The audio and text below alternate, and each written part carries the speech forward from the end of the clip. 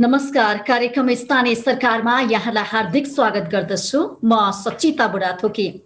हामी कार्यक्रम स्थानीय सरकारमा जनप्रतिनिधिहरूसँग कुराकानी गर्दै आइरहेका छौँ।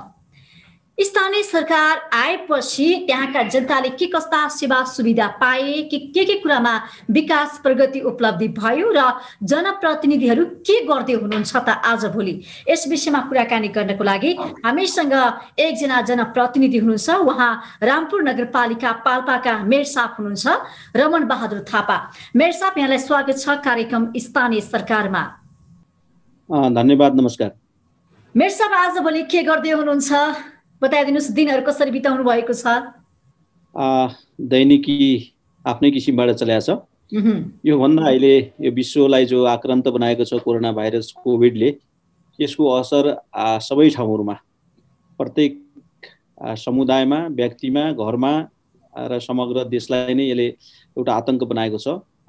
यसैको अहिले चाहिँ विशेष गरेर यसैको विषयमा बढी चर्चा हुने गरेको छ। यसैको विषयमा बढी हामी छलफलमा छलफल गर्ने गरेका छौँ। समाज र यो सिङ्गो नगरपालिकालाई कसरी सुरक्षित राख्न सकिन्छ भन्ने विषयमा नै हामी बढी केन्द्रित छौँ। भनेपछि कोभिडलाई कसरी नियन्त्रण गर्न सकिन्छ त्यहाँको नागरिकलाई कसरी सुरक्षित पार्न सकिन्छ भन्ने त्यसमा केन्द्रित भएर तपाईँले काम गरिरहेका छौँ भन्नुभयो। यो कोभिडको अवस्था के छ? पछिल्लो समयमा अहिले उपत्यकामा हेर्ने हो भने दिन प्रतिदिन ठुलो सङ्ख्याको हाराहारीमा सङ्क्रमितको सङ्ख्या बढिरहेको छ। रामपुर नगरपालिकाभित्रको अवस्था के छ? न्यून भएको छ कि छैन? पछिल्लो अवस्था। अहिले यो पछिल्लो पिरियडमा पहिलाको तुलनाभन्दा केही न्यूनीकरण न्यून न्यून चाहिँ भएको हामीले महसुस गरेका छौँ। तथापि जुन भोलममा हामीले यहाँ चेकअप गर्नुपर्ने हो त्यो चाहिँ छैन। हामीले हाम्रो सामर्थ्यले भ्याएअनुसार हाम्रो क्षमताले भ्याएअनुसार हामीले यी कामहरू गरिरहेका छौँ। पिसिआर टेस्ट नगरपालिकाले अहिलेसम्म नि शुल्क गरिराखेको छ। र पनि जुन भोलममा हामीले चाहिँ कन्ट्र्याक्ट ट्रेसिङहरू गर्नुपर्ने हो। त्यो चाहिँ अझै हामीले गर्न सकेको अवस्था छैन। त्यसको पछाडि के हुन सक्छ यहाँले हामीले जुन जे जुन सोचाइ अनुसार त्यहाँको सङ्क्रमितहरूको जुन बढिरहेका छन् त्यो अनुसार हामीले काम गर्नुपर्ने हो। तर गर्न सकेनौँ भनेर यहाँले भनिरहँदाखेरि के कारणले गर्न सक्नु भएन? केन्द्रको प्रदेश सरकारको सहयोग भएन कि तपाईँहरूमा कर्मचारीको अभाव भयो कि बजेट पुगेन कि के कारणले भएन? अब अहिलेसम्म हामीलाई केन्द्र र प्रदेशबाट केन्द्रबाट जम्मा दुई लाख रुपियाँ र प्रदेश सरकारबाट पन्ध्र लाखभन्दा अरू केही पनि आएको छैन। हामीले हाम्रो नगरपालिकाको आफ्नो खर्चबाट करिब करिब एक करोडभन्दा बढी चाहिँ एक करोड पन्ध्र लाख जतिको पेरिफेरीमा हामीले खर्च गरिसकेका छौँ यो कोभिडकै सन्दर्भमा लिएर कतिपय राहत वितरणका कुराहरू लिएर यसलाई चाहिँ मतलब यहाँ बनाउनु पर्ने आइसोलेसनका विषयहरूमा लिएर क्वारेन्टाइनका निर्माणका कुराहरू लिएर यी खर्चहरूमा हामीले यो यत्रो चाहिँ रकमहरू खर्च गरिसकेका छौँ जुन चाहिँ बजेट निर्माणमा आएका रकमहरू मध्येबाट नै हामीले यसलाई कटौती गरेर यतातिर खर्च गरेका हौँ।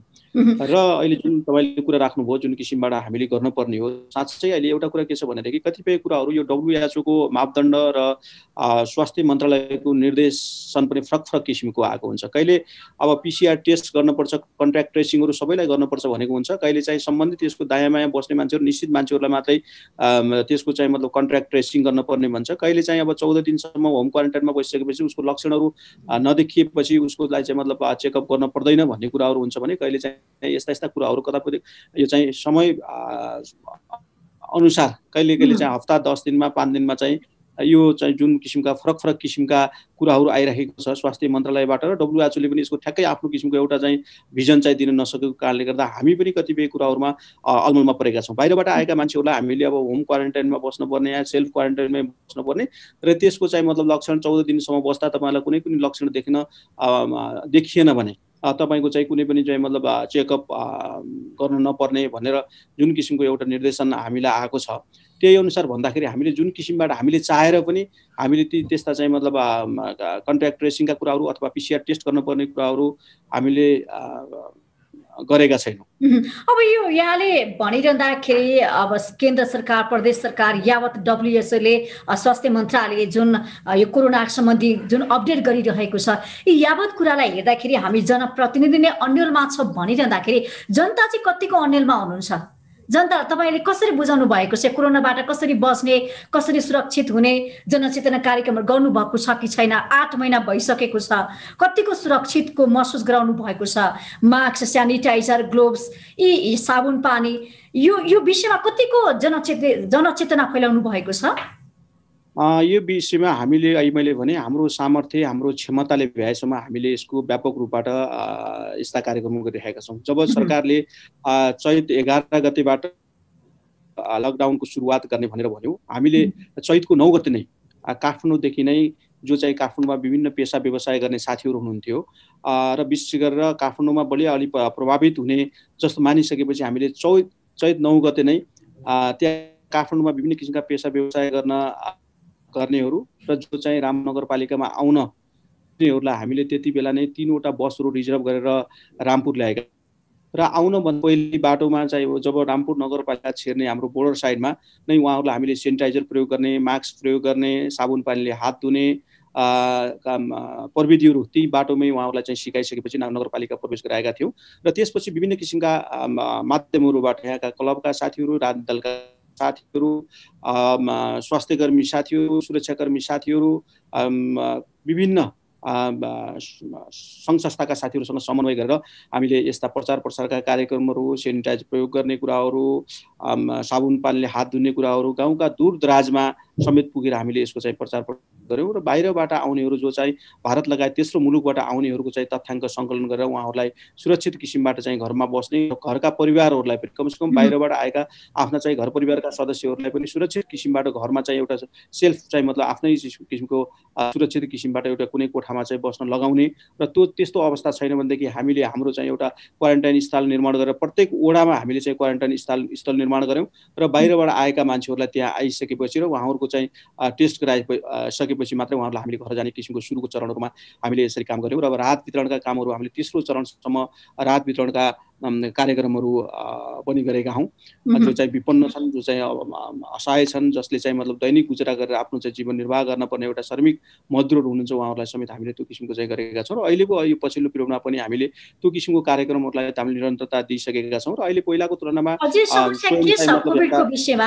तपाईँहरूले धेरै थोरै समस्या त समाधान गर्दै हुनुहुन्छ। अझै मुख्य चुनौती चाहिँ के छ नगरभित्र? चुनौती भनेको अहिलेकै यो चाहिँ जुन किसिमको महामारी हो यसलाई कसरी चाहिँ मतलब समाधान गर्ने कसरी न्यूनीकरण गर्ने नै हो। र त्यसको साथसाथै अहिले यो कोरोना भाइरसले विभिन्न किसिमका चुनौतीहरू ल्याएका छन्। दैनिक रोजगार गर्नेहरू अहिले चाहिँ विभिन्न ठाउँबाट रोजगारको सिलसिलामा रामपुर नगरपालिका आउनेहरू अहिले आउन नसकेको अवस्था छ।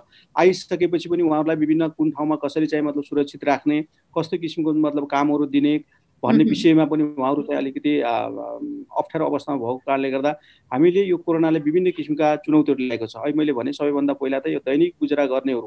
जो चाहिँ अहिले हामीले रामपुर नगरपालिकामा एउटा राष्ट्रिय गौरवको योजना काली गण्डकी करिडोरको विकासको निर्माणको कामहरू धमाधम भइराखेको छ। त्यहाँ चाहिँ बाहिरबाट आउनेहरू सयौँको सङ्ख्यामा चाहिँ मजदुरहरू आएर काम गर्ने जुन अवस्था थियो त्यो अहिले रोकिएको अवस्था छ र यहाँ आउनेहरूलाई पनि उहाँहरूलाई सुरक्षित किसिमबाट राख्नको लागि उहाँहरूलाई निश्चित ठाउँमा काम गर्ने र निश्चित ठाउँमा बस्ने व्यवस्था त हामीले गरेका छौँ।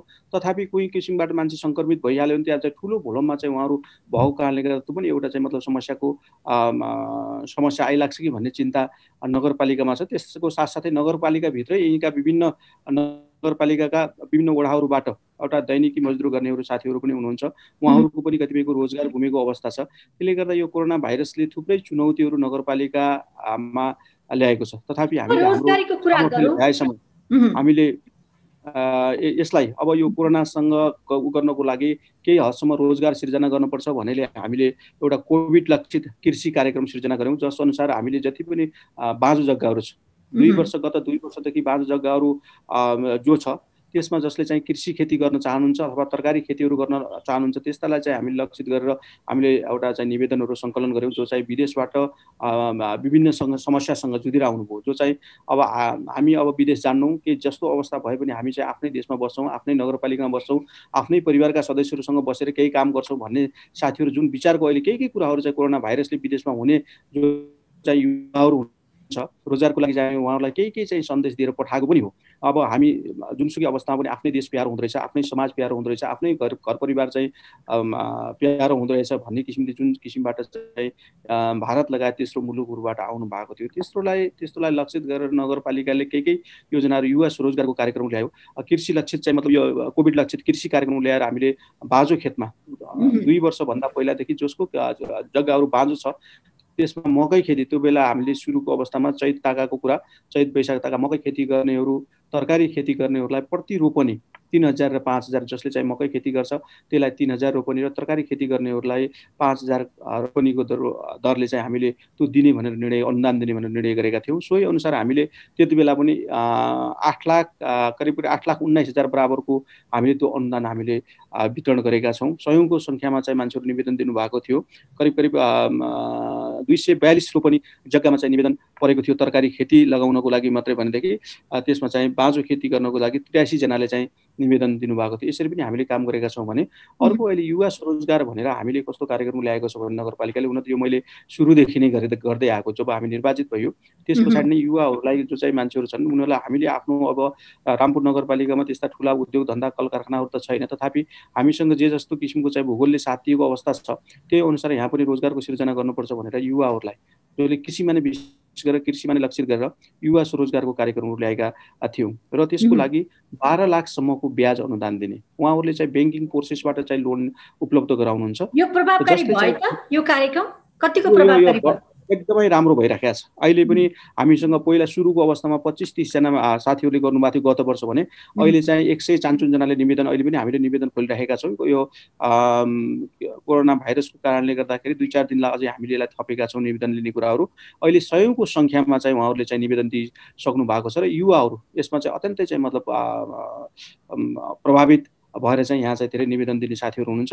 अहिले हामीले फेरि के गर्यौँ भने ब्याङ्कको मात्रै नभएर वित्तीय संस्थाहरू अरू सहकारी मार्फत पनि उहाँहरूले लोन लिन सक्ने र त्यो लोन लिएको बढीमा चाहिँ हामीले बाह्र लाखसम्मको ब्याज अनुदान चाहिँ नगरपालिकाले दिने भनेर हामीले करिब करिब एक करोड रुपियाँ चाहिँ बजेट एक करोडभन्दा बढी बजेट चाहिँ विनियोजन गरेर राखेका छौँ। त्यो ब्याज दिनको लागि मात्रै भनेपछि अहिले चाहिँ अरू साना घरेलु तथा साना उद्योगहरू गर्नेहरूलाई अरू चाहिँ कुनै पेसा व्यवसाय गर्नेहरूलाई पनि लक्षित गरेर अहिले फेरि हामीले एउटा कार्यविधि तयार गरेर त्यो किसिमको कार्यक्रम राखेको कारणले गर्दा पनि बाहिरबाट आएका साथीहरूले त्यसले चाहिँ समूहमा पनि गर्न सक्नुहुन्छ।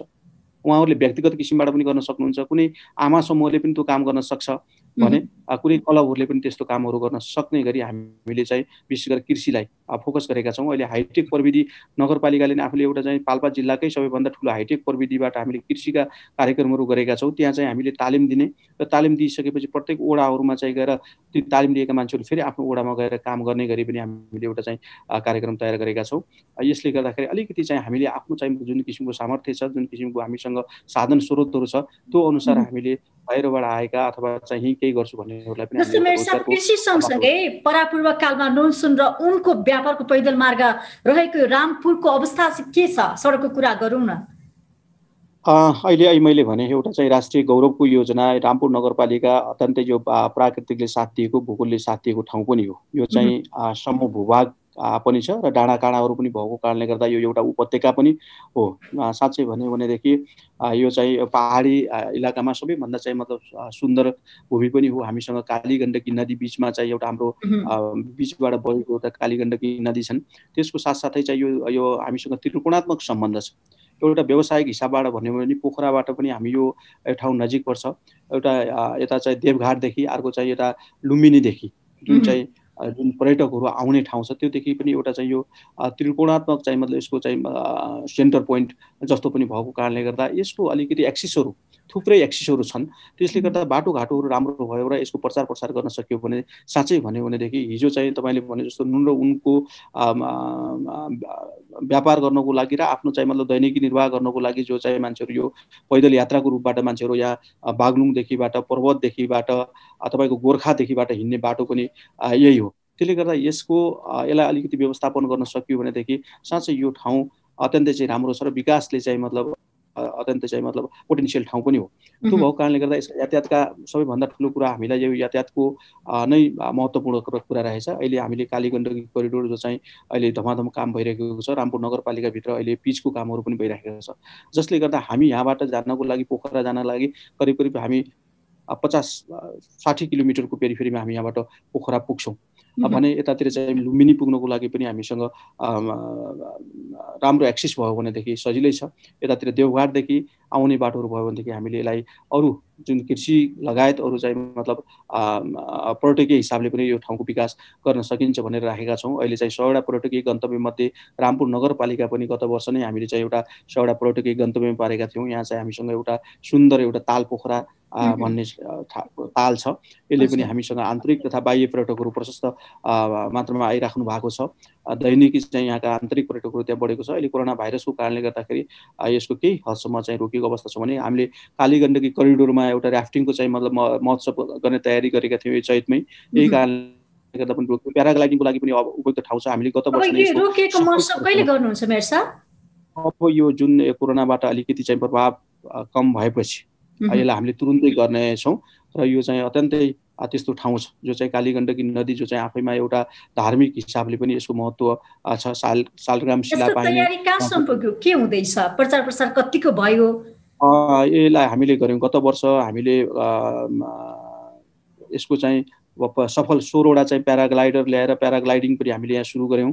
हामीले चाहिँ कालीगण्डकीमा ऱ्याफ्टिङको करिब करिब बाइस पच्चिसवटा चाहिँ मतलब ऱ्याफ्टिङको चाहिँ मतलब ओहरू ल्याएर बोटहरू ल्याएर पनि हामीले यहाँको चाहिँ सफल परीक्षण गऱ्यौँ र त्यो परीक्षणले के देखायो भने सबैभन्दा चाहिँ मतलब यो फ्यामिलियर ऱ्याफ्टिङको लागि कालीगण्डकी नदी उपयुक्त छ भन्ने हिसाबले पनि हामीले गण्डकी प्रदेशको मन्त्री र हामीले पाँच लुम्बिनी प्रदेशको चाहिँ का केही साथीहरूलाई महत्त्वपूर्ण साथीहरू जिम्मेवारी साथीहरू ल्याएर पनि हामीले त्यो ठाउँको चाहिँ मतलब एउटा सफल त्यही बेला परीक्षण गर्दाखेरि उहाँहरूलाई ल्याएर ल्याइसकेपछि विशेष गरेर गण्डकी प्रदेश र हामीहरूको बिचमा समन्वय भएर काली गण्डकीको संरक्षण गर्नुपर्छ। अहिले जुन चाहिँ काली गण्डकी नदीलाई डाइभर्सन गरेर तिनाउमा लगेर त्यसको चाहिँ केही भाग तराईका केही भागहरू सिँचाइ गर्ने नाममा काली गण्डकीलाई बङ्ग्याउन खोजिदियो। यसको लागि नगरपालिकाले अत्यन्तै चाहिँ मतलब महत्त्वपूर्ण भूमिका निर्वाह गरेको छ। हामीले जुनसुकै अवस्थामा पनि यो यत्रो चाहिँ मतलब अस्तित्व भएको कालीगण्डकी नदीलाई हामीले यसलाई डाइभर्सन गर्न दिँदैनौँ यसलाई बङ्गाउन दिँदैनौँ यसको महत्त्व यसको संरक्षण सम्वर्धन र यसलाई कुन कुन किसिमबाट विकास गर्न पर्ने हो हामीले त्यही अनुसार तयार गर्छौँ भनेर हामीले हामी यो जुन रामदीदेखि तलतिर दसवटा पालिकाहरू छ हामी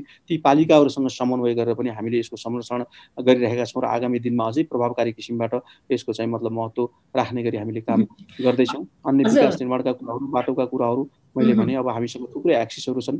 यहाँबाट चाहिँ नारायणघाट जोडिने बाटोहरू बन्दैछ। यहाँबाट चाहिँ मतलब पोखरा जानको लागि त्यही किसिमको बाटोहरू छन्। अहिले कच्ची बाटोहरू चाहिँ मतलब हामीले एउटा ट्र्याक खोल्ने काम भएको छ भने अब यसलाई विस्तार गरेर यसको चाहिँ स्तर उन्नति गरेर गरियो भनेदेखि साँच्चै चाहिँ रामपुर नगरपालिका यो चाहिँ अत्यन्तै सुन्दर रमणीय र चाहिँ मतलब एउटा भविष्य बोकेको ठाउँ भएको कारणले गर्दा उसको विकास चाहिँ हामीले गर्न अब कुरा गरौँ विकासका सँगसँगै यहाँले पेसा रोजगार लगायतका क्षेत्रमा जसरी यहाँले सोचे अनुसार प्रगति एउटा विकास गर्दै गइरहनु भएको छ नि त्यो सँगसँगै आम नागरिकको जीवनमा के के कुरामा परिवर्तन आए उहाँहरूको मुहार फेरियो कि फेरिएन?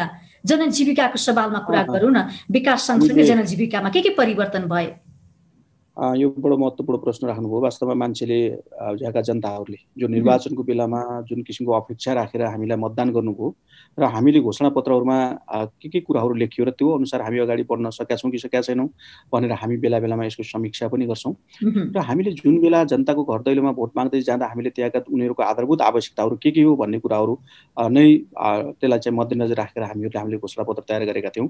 सबैभन्दा पहिला हामीले यो खरको छानो भएका घरहरू देख्यौँ। हामी चुनाव प्रचार प्रसारको क्रममा जाँदा जसको घरमा चाहिँ एउटा चाहिँ आकाशबाट परेका पानीहरू चुहिएको छ। आकाशबाट परेका परेका उज्याला प्रकाशहरू उसको चाहिँ खरको छानोबाट घरभित्र छिरेको छ। त्यस्तोहरू नै अत्यन्त चाहिँ विपन्न हुन्। यिनीहरूलाई नै हामीले पहिलो प्राथमिकता राखेर काम गर्नुपर्छ भनेर सायद अहिले त पछिल्लो पिरियडमा प्रदेश सरकार र केन्द्र सरकारले पनि यो योजना ल्यायो। तर सुरुमा सबैभन्दा पहिला मलाई लाग्छ रामपुर नगरपालिकाले यो चाहिँ टिनको छानो घोषणा गर्ने खर रहितको घर बनाउने भनेर नगरपालिकाले घोषणा गर्यो। र हामीसँग चाहिँ त्यसको तथ्याङ्क सङ्कलन गरेर हामीसँग सात सय अडसठीवटा घरहरू चाहिँ रहेछ रामपुर नगरपालिकाभित्र खर्का छानाहरू भएका घरहरू त्यसलाई चाहिँ हामीले टिन वितरण गर्ने भनेर गऱ्यौँ। अहिलेसम्म हामीले चार सय उन्चालिस घरलाई हामीले चाहिँ टिन दिइसकेका छौँ भने अब यो वर्ष हामीले चाहिँ यी सबैलाई चाहिँ खर रहितको घर बनाउने भनेर नगरपालिकाले घोषणा गरेको थियो त्यो चाहिँ हामी कम्प्लिट गर्छौँ। र त्यसपछि चाहिँ अहिले हामी आउनुभन्दा पहिला यहाँ कतिपय ओडाहरूमा बिजुली पुगेको थिएन। र हामीले अहिले उज्यालो सहर घोषणा गरिरहेका छौँ। प्रत्येक ओडाहरूमा हामीले बिजुलीका पोलहरू बिजुलीका तारहरू र बिजुली बत्तीहरू बालेर चाहिँ उज्यालो सहर घोषणा गरिसकेका छौँ। किनभने यो सबैभन्दा ठुलो कुरा उज्यालो चाहिँदो रहेछ। हरेक कुराहरूमा बिजुलीको चाहिँ पहुँच पुगेको ठाउँमा विकास निर्माणका कामहरूदेखि लिएर सारा सबै कामहरू गर्नको लागि त्यो एउटा आवश्यक भएको कारणले गर्दा मान्छेको मन पनि उज्यालो गर्नको लागि पनि वास्तवमा बिजुली चाहिँदो रहेछ भन्ने हिसाबले नगरपालिकाले करिब करिब साढे दुई करोड रुपियाँ हामी निर्वाचित भइसकेपछि नै हामी यो बिपिसी बुटुल पावर कम्पनीसँग समन्वय गरेर हुन त उसको आफ्नो पेसा हो। तथापि हामीले अझै उहाँहरूलाई चाहिँ जनताहरूलाई अलिक यसको चाहिँ मतलब अलिक छिटो उहाँहरूलाई यो विद्युत दिनुपर्छ बिजुली बाल्नुपर्छ भन्ने हिसाबले हामी त्यो बिपिसीसँग समन्वय गरेर करिब करिब नगरपालिकाले नै साढे दुई करोडभन्दा बढी लगानी गरेर अहिले पुरै चाहिँ नगरपालिकालाई उज्यालो सहर घोषणा गरेका छौँ। खानेपानीहरू जहाँ चाहिँ गाउँका दूरदराजहरू छ अत्यन्तै अवस्थामा रामपुर पाल्पाको यस्ता ठाउँहरू पनि थियो कि दिनको बिहान चाहिँ गएर बाह्र बजेसम्ममा एक गाग्रो पानी ल्याउने ठाउँहरू पनि थिए। ती ठाउँहरूमा हामीले अहिले पानी पुर्याइसकेका छौँ। र बाँकी रहेका केही केही ठाउँहरूमा अब पानीको अहिले अहिले योजनाहरू हामीले हालिरहेका छौँ भनेदेखि जुन किसिमले हामीले बोलेका थियौँ त्यसलाई क्रमशः हामीले हुन त सबै कुराहरू एकैचोटि गर्न सकिन्न। हामीले पनि अझै धेरै कामहरू गर्न बाँकी छ। हामी आफैले पनि सोचेका छौँ भने जुन जुन चाहिँ मान्छेको आधारभूत आवश्यकताका कुराहरू हुन् ती कुराहरूलाई हामीले हाम्रो घोषणापत्रको आधारलाई लिएर हामीले ती कुराहरू गर्दैछौँ। बाटोघाटोका कुराहरू त यी साधारण कुराहरू हुन्। अनि त्यसपछि हामीले यो जुन फोहोरको अहिले व्यवस्थापन गर्दैछौँ अहिले एउटा एउटा अत्याधुनिक मिसिन ल्याएर जुन चाहिँ नगरपालिकाभित्र भएका फोहोरका व्यवस्थापन गर्नको लागि त्यो फोहोरबाट कुहिने चिजहरूबाट मल बनाइराखेका छौँ भने त्यो नकुहिने चिजहरू सिसा जन्ने चिजहरू फलाम जन्ने चिजहरू र चाहिँ यो प्लास्टिक जन्ने चिजहरूलाई फेरि हामीले ती सबै खाले चिजहरूलाई चाहिँ एउटा कुनै संस्थासँग चाहिँ मतलब कोर्डिनेसन गरेर हामीले अब मेरसाब अन्त्यमा अब तपाईँको कार्यकालमा त्यहाँका जनताले कस्तो नगरको रूपमा पाउनुहुन्छ त? भन्न सबैले भन्ने गर्छौँ। हामीले स्मार्ट सिटी बनाउँछौँ नगरपालिकालाई एउटा नमुनाको चाहिँ मतलब सिटी बनाउँछौँ र यहाँका जनताहरूलाई भन्ने स्वाभाविक हो। एउटा चाहिँ उद्देश्य त्यो पनि हो नगरपालिकाको। तर त्यसलाई हामीले कर्मागत हिसाबबाट हामीले यसलाई पुरा गर्दैछौँ र हामीले जुन जुन कुराहरू चाहिँ जनताको घरहरूमा हामी जाँदा देखेका छौँ उहाँहरूले हामीले उहाँहरूले माग्नभन्दा पहिले हामीले तपाईँहरूलाई यो यो कुराको आवश्यक रहेछ यो यो कुरा हामीले पुरा गर्छौँ भनेका ठाउँहरूमा जुन जुन कुराहरू हामीले अहिले भोलिएका छ ती कुराहरू अलमोस्ट हामीले पुरा गर्दै गएका छौँ। भने बाँकी रहेका कुराहरूलाई पनि हाम्रो कार्यकालसम्म हामीले यसलाई पुरा गर्नेछौँ भन्ने उद्देश्यका साथ हामी लागेका छौँ। र नगरपालिकाको यो सिङ्गो टिम यहाँका राजनीतिक दलका साथीहरूसँग समन्वय गरेर सबै साथीहरूसँग मिलेर चाहिँ हामीले यो कामहरू साँच्चै एउटा छुट्टै छुट्टै छुट्टै किसिमको नगरपालिका एउटा पहिचान दिएर यसलाई चाहिँ नगरपालिकालाई छुट्टै किसिमको पहिचान दिने गरी हामी चाहिँ अगाडि बढेका छौँ। नागरिकलाई के भन्न चाहनुहुन्छ? अहिले यो जुन अवस्था छ अहिले सबै जुन चाहिँ हामी कोरोना भाइरस कोभिडबाट जुन प्रभावित भएका छौँ यो अवस्थामा पहिला हामी सचेत रहौँ आफू पनि सुरक्षित रहौँ आफ्नो घर परिवारलाई सुरक्षित राखौँ समाजलाई सुरक्षित राखौँ र यो सिङ्गो नगरपालिकालाई सुरक्षित राख्न सक्यो भनेदेखि ठिक छ जीवन नै रहेदेखि हामी विकास निर्माणका यत्र कुराहरू जति छ पहिला त हामी जीवन सुरक्षित राख्न पऱ्यो विकास निर्माणका कुरा अहिले भएन भनेदेखि हामी अर्को साल पनि गर्न सक्छौँ। त्यसले गर्दा अहिलेसम्म तपाईँहरू नातिनुहोस्। हामीले भनेका छौँ नगरपालिकाले तपाईँहरूलाई भोकै चाहिँ राख्दैन। कुनै हालतले जुनसुकै अवस्थामा भए पनि अहिले जुन चाहिँ एउटा प्रदेश सरकार अथवा केन्द्रीय सरकारले जुन चाहिँ यो कोभिडबाट प्रभावित छन् सङ्क्रमित छन् उनीहरूलाई चाहिँ जुन किसिमबाट अब आफैले खर्च गर्ने भनेको छ र नगरपालिकाले अहिलेसम्म अहिले मैले भने हामीले यहाँको परीक्षण गर्ने कुराहरू उहाँहरूलाई राख्न पर्ने कुराहरू यदि चाहिँ क्वारेन्टाइनमा बस्नु पऱ्यो भनेदेखि आइसोलेसनमा बस्नु परेको खण्डमा त्यो सबै कुरा नगरपालिकाले चाहिँ बेहोर्ने छ। यहाँका जनताहरूलाई मैले चाहिँ त्यो किसिमको एउटा चाहिँ मतलब सन्देश दिन पनि चाहन्छु। त्यसले गर्दा त्योभन्दा पहिला रोग लाग्नभन्दा पहिला रोग लागेर हामी यसरी बस्न पाइन्छ उपचार गर्छ भन्नभन्दा पनि हामी रोगबाट पहिला सुरक्षित हुनुपर्छ भन्ने किसिमबाट हामी सचेत भइयो र अरूलाई पनि सचेत गराउन सक्यो भनेदेखि र यो समाज र नगरलाई चाहिँ सुरक्षित राख्न सक्यो भनेदेखि विकासका निर्माणका कामहरू अहिले नभए पनि केही समय पछाडि हामीले गर्न सकिन्छ। त्यसले गर्दाखेरि तपाईँहरू एउटा चाहिँ नातिकन अहिले वास्तवमा यो यो हामीले देखेका छौँ जुन किसिमबाट मान्छेहरू सङ्क्रमित भइरहेका छन् त्यो किसिमबाट मृत्युदर चाहिँ मतलब कम छ। त्यसले गर्दा यो हामी आफै चाहिँ मतलब अलि लापरवाही भयो भनेदेखि हामीले यसमा चाहिँ बढी ध्यान दिएन भनेदेखि अब डक्टरको सल्लाहहरू मानिएन भने हामीले दैनिकी चाहिँ हामीसँगै पाउने विभिन्न किसिमका चाहिँ मतलब औषधिका विभिन्न उपायहरू छन्। ती उहरूलाई चाहिँ प्रयोग गर्न सकिएन गरिएन भनेदेखि हाम्रो लापरवाही कारणले गर्दा हाम्रो ज्यान पनि जान सक्नेछ र सिङ्गो चाहिँ मतलब समाज चाहिँ सङ्क्रमित हुन सक्नेछ। त्यसले गर्दा सबैभन्दा पहिला आफै सचेत हुनु पऱ्यो एउटा सकारात्मक सोचको साथ सबैभन्दा ठुलो सुके के हुन्छ भनेदेखि सोच चाहिँ सकारात्मक भयो भनेदेखि आफ्नो विचार शुद्ध भयो भनेदेखि। र हामीले मैले चाहिँ आफूले पनि काम गर्छु र अरूलाई पनि मतलब गर्छु भन्ने उद्देश्यको साथ हामी लाग्यो भनेदेखि हरेक ठाउँमा हामी सफल बन्न सकिन्छ। त्यसले गर्दा यही सकारात्मक सोचको साथ हामी अगाडि बढौँ भने मैले यहाँका नगरवासीहरूलाई यो चाहिँ सन्देश दिन हस् मेरसाथ समयको लागि यहाँलाई धेरै धेरै धन्यवाद।